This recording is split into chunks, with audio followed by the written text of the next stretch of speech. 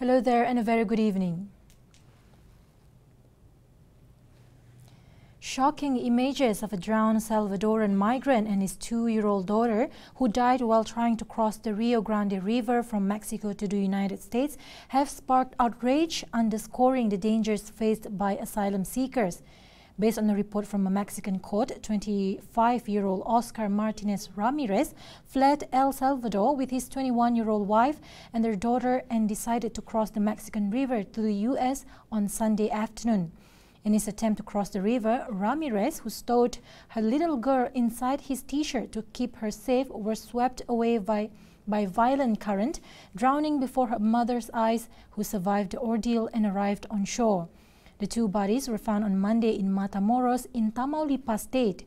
The unfortunate incident has stirred anger in El Salvador and Mexico, where the government had faced sharp criticism for its treatment of migrants.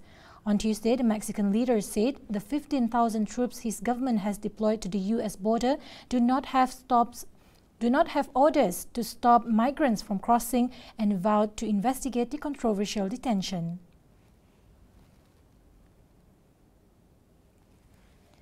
One of the world's most hazardous volcano, Ulawun, spewed ashes on Wednesday in Papua New Guinea, turning the sky dark, sending residents fleeing and prompting an eruption warning. According to Leo Porikura, an official with the West New Britain Disaster Office, the volcanic activity at Mount Ulawun began at 7 a.m. this morning after slight rumbling and light emission. Porikura said the Rabaul Volcano Observatory has declared a stage 1 alert warning of a possible eruption.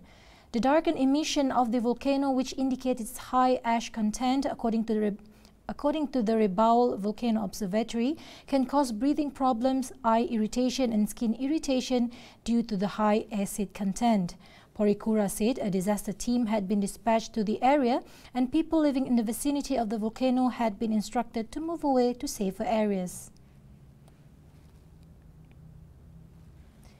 10 illegal immigrants died and 30 were injured on Wednesday when the driver of a packed minibus refused an order to stop and crashed into a shop in northwest Turkey.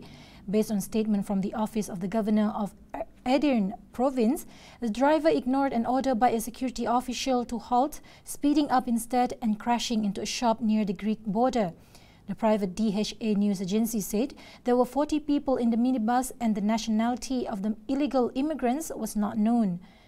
Migrants fleeing war and poverty have used Turkey as a transit country to try and reach Europe. And that ends the English news for today. I'm Shira Abang Manso for TV Sarawak. Thank you for watching.